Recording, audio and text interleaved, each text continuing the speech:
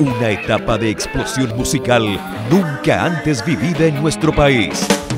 AAM presenta la industria musical en Paraguay. Escuché leyendas de bomberos y de brujas. Los de artistas, productores y representantes destacados del país cuentan todo. O sea, en Paraguay, por ejemplo, es difícil que un cantante diga yo gano bien gracias a la regalía y gracias a la venta de CD, porque obviamente eso no, no ocurre. Porque uno tiene que hacer lo que le gusta hacer y que consecuencia de eso sea ganar dinero.